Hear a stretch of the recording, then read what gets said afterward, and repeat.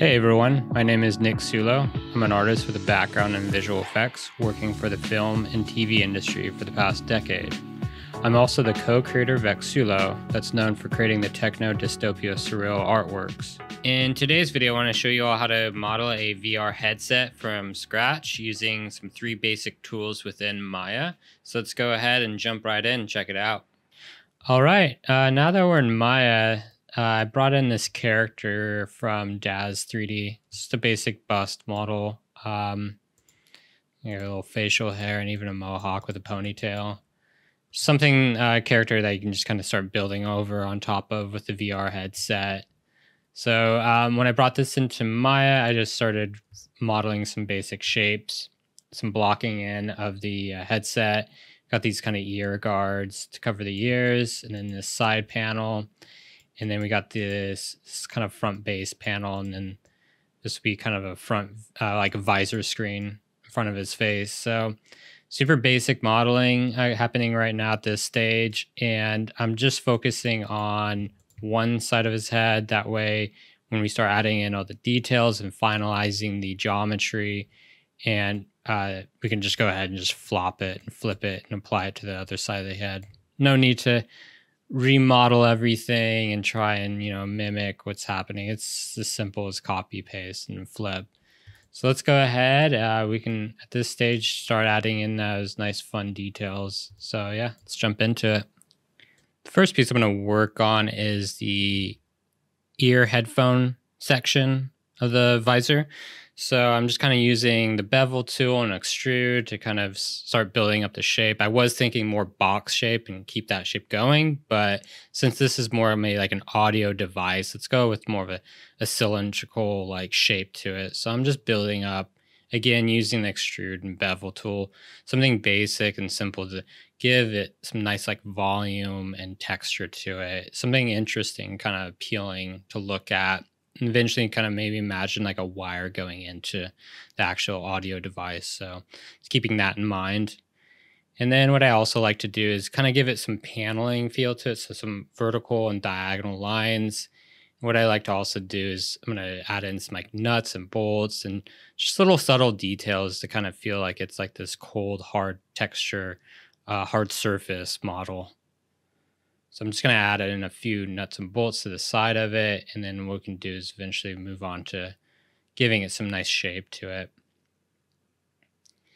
And since this sits on his head, I don't want it to feel so like hard angled. I want it kind of feels like it maybe wraps around his head. So it actually feels like it follows the anatomy of his, his actual face.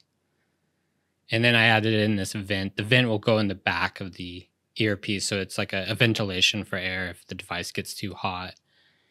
And then uh, these pieces are more like kind of clippings. Like since it's so surgical, like it was added to him during surgery, so it feels like it's kind of like a part of him, and it was attached to his body. So I'm adding in, in just these little details. Just adds a lot to it. I also imagine like some additional cables to the side paneling. So I'm making these cylindrical like shapes where these wires kind of go in and out of these pieces and then attaches eventually attaches to the front of his visor. So what we'll go ahead and do is just start bringing in some cables and we'll add some new shapes to it and something a little more organic.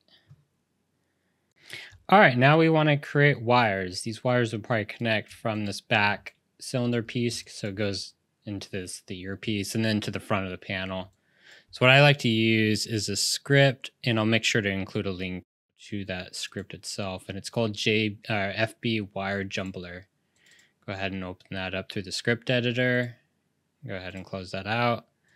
So what's cool about this is we can adjust like the quantity. How many wires do we want? So let's just go with three. And then the wire diameter we might have to adjust, but it's that might be too thick. So let's set that to one. That'll be how thick the the wire itself would be. Pretty self-explanatory. Geometry type, I actually like to keep it at NURBS. That way when we actually create the wires, we can further adjust them through the curve tool. So let's go ahead and jump into that and show you guys how it works. So what I like to do is create a sphere. And when I'm creating the sphere and why I'm doing this is I'm using these as like kind of like a guide to how the, the wires are gonna shape and, and, and form. And so what I first do is create the sphere one and then duplicate and bring this out. And what this is gonna act as like a guide for the, the uh, FB wire jumbler. So the wires actually kind of follow this path. So think of it as kind of like a path. So the wire will eventually kind of curve down, curve back up, and then it would eventually want to sit in place in the front panel. Let's create about seven spheres out of this. I think that should be good.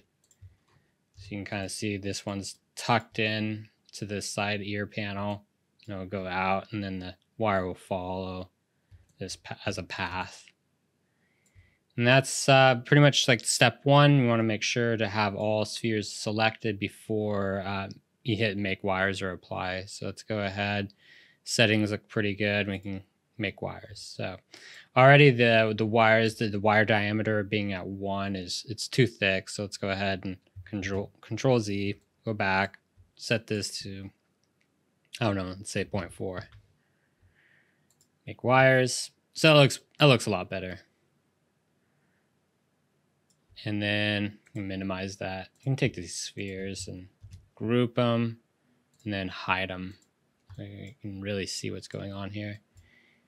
Hit four so we can see the transparency and you can see that it's be a little hard to select, but it's the the curvature. They create these curves within the NURBS so we can actually go in here and this is a great way to edit. This is why we want to go with NURBS like I said, it's a great way to edit the actual path of the the wiring. So if we want want the wires to kind of sit naturally, we don't want them to intersect like they are right now. So what I go ahead and do is adjust these wires as NURBS and make them so they actually sit nicely in there. But for now, that looks pretty good. But yeah, let's go ahead and tweak those. So I'm making some final adjustments to the curve tool. That way the cables aren't intersecting too much. And then when we duplicate the curve, uh, the cables have some variety to them as well. So they don't feel so copy and paste. And then I'm going to finalize the front end visor, added some paneling. So it kind of kind of wraps around his nose and then as well as some additional geometry details to that. And then we'll go ahead and uh, go back into the side panel and duplicate it and put it on the other side of his head. So at this stage, the uh, visor is pretty much almost done, but since we want to make a turntable out of this, I want to add in some additional details to the back end of his body.